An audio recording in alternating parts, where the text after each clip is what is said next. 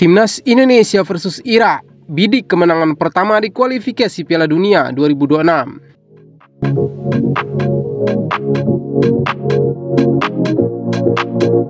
Timnas Indonesia bakal menjalani laga tandang pertama putaran kedua grup F kualifikasi Piala Dunia 2026 melawan Irak di Basra International Stadium pada Kamis 16 November 2023. Pertandingan tersebut dijadwalkan berlangsung pukul 21.45 waktu Indonesia bagian Barat timnas Indonesia bakal menurunkan skuad terbaiknya di pertandingan ini. Mentalitas pemain skuad Garuda menjadi kunci untuk meraih kemenangan di laga perdana grup F. Pasalnya Irak bukan lawan mudah untuk dikalahkan. Terlebih mereka bermain di depan pendukung dan bisa memberikan tekanan besar untuk pemain timnas Indonesia.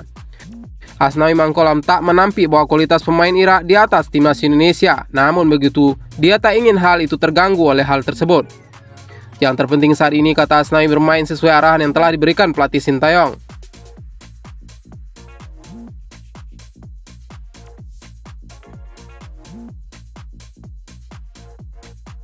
Kalau yang kita tahu memang kualitas Sirak di atas kita, tapi kita tidak memikirkan itu. Kita akan bermain saja sesuai dengan apa yang sudah pelatih inginkan dan kita menargetkan kemenangan di pertandingan nanti, kata Asnawi.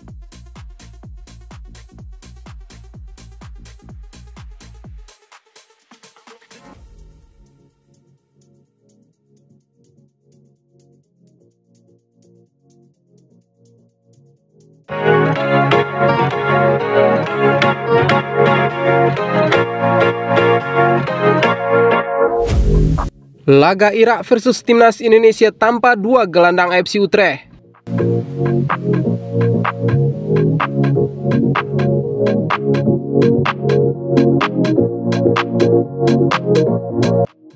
Laga Irak versus Timnas Indonesia di kualifikasi Piala Dunia 2026 dipastikan tanpa duel gelandang FC Utrecht.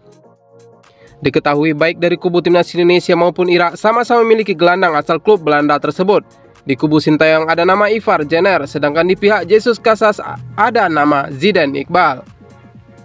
Namun kedua pemain ini dipastikan sama-sama absen karena cedera. Irak mengumumkan 25 pemain untuk FIFA Matchday November 2023 melawan timnas Indonesia dan Vietnam.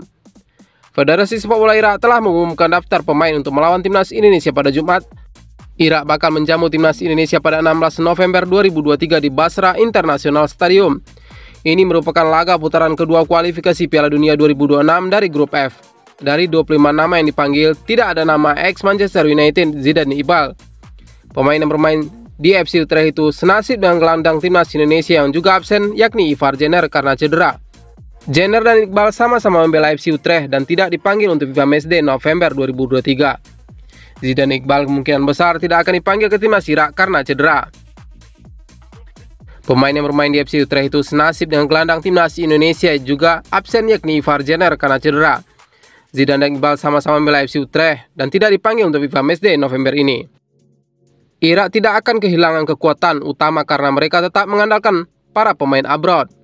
Beberapa di antaranya yakni Rebin Sulaka Liga Swedia, Saad Natik Liga Arab Saudi, Bashar Resan Liga Qatar, sang kiper Fahad Talib dari Liga Iran. Terdapat juga tiga pemain yang berasal dari kasta tertinggi yakni Yosef Amin, Bundesliga Jerman Ahmad Ali kasta ketiga Prancis dan Ali Ahmadi kasta keempat Inggris. Satu pemain yang perlu diwaspadai timnas Indonesia adalah Ali Jasim, winger berusia 19 tahun yang membela Al-Quwa Al-Jawiya. Jasim kini masuk di jajaran top skor sementara Liga Champion Asia dan koleksi 4 gol. Kelincahan dan kecepatan pemain setinggi 178 cm itu bisa saja merepotkan pemain timnas Indonesia layak menantikan duel timnas Indonesia versus Irak di putaran kedua kualifikasi Piala Dunia zona Asia.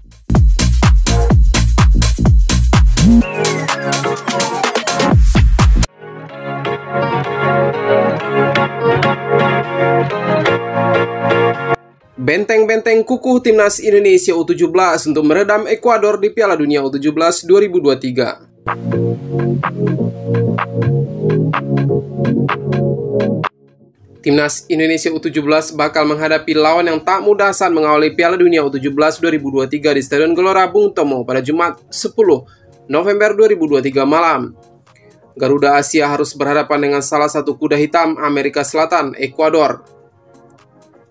La Tricolor pun datang dengan status runner-up Copa America U17. Michael Bermudez bakal jadi musuh paling menyusahkan bagi pertahanan anak asuh Mimba Sakti. Penyerang asal klub L2 Quito itu jadi salah satu pemain tersubur di turnamen lalu. Dengan perbandingan tersebut, tentu realistis bila Indonesia tak akan bermain terbuka ketimbang beradu serangan. Mengamankan angka penuh jauh lebih penting. Lantas siapa yang bakal diandalkan di depan penjaga gawang Andrika Fatir? Yang pertama, Sultan Zaki. Sultan Zaki sepertinya bakal mengunci satu tempat di pertahanan. Pemain asal klub PSM Makassar itu memang sudah lama jadi andalan timnas Indonesia U17. Posturnya yang tinggi jadi salah satu keunggulan sepupu dari Asnawi Mangku Alam Bahar tersebut. Ia sanggup memenangkan duel-duel atas kontra penyerang elit lawan. Tugas serupa kembali diembannya pada perhelatan akbar ini. Kombinasi dengan Muhammad Iqbal Gwijangge belum tergantikan. Yang kedua, Iqbal Gwijangge. Seperti yang disebut, Iqbal Gwijangge bakal jadi rekan Sati Sultan Zaki di pertahanan. Sejak dipasang di Piala AFF U16 2022 lalu, mereka jadi duet tak terpisahkan. Pemain asal klub Barito Putra itu memang memiliki kemampuan intersepsi yang mumpuni. Ia mampu membaca arah permainan dengan cukup baik Piala Dunia U17 bakal jadi ujian sesungguhnya. Andai mampu menahan pergerakan predator Ekuador, Indonesia mungkin bisa menatap kesempatan ke-16 besar. Yang ketiga, Welber Jadim. Demi menambah kekuatan di pertahanan Bima Sakti mungkin bisa menjajal Welber Jadim sebagai bek tengah ketiga dalam susunan formasinya. Pemuda yang baru berusia 16 tahun itu jadi pemain keturunan terbaru yang membela Indonesia U17. Ia diharapkan menambal kekuatan untuk berhelatan akbar tersebut. Dengan pengalamannya membela klub asal Brazil, Welber mungkin menawarkan sesuatu yang berbeda. Mungkin kita bisa melihat melakukan umpan jauh presisi seperti Jordi Amat di tim senior. Lawan Ekuador yang punya pengalaman lebih banyak. Ini jadi sejarah mengingat Indonesia berhasil mendapat poin pertama pada ajang Piala Dunia Masuki interval kedua, tidak ada penggantian yang dilakukan oleh kedua tim. Masing-masing pelatih sepertinya masih ingin melihat aksi anak asuhnya melanjutkan permainan seperti babak pertama. 5 menit babak kedua berjalan Ekuador lagi-lagi memperlihatkan permainan high pressing dengan tidak memberikan Garuda Muda ruang untuk mendistribusikan bola dari lini belakang. Peluang emas Ekuador terjadi di menit ke-54. Beruntung bola yang mengarah ke Michael Bermudez tidak mampu dimanfaatkan untuk mencetak gol. Dua menit kemudian Ekuador kembali mendapat peluang, tapi lagi-lagi kandas. Ekuador kembali menguji lini belakang Garuda. Tendangan spekulasi Allen Obando di menit ke-67 mampu diantisipasi kiper Ikram Al-Ghifari yang nyaris tampil sempurna di laga ini. Memasuki menit ke-70, Ekuador men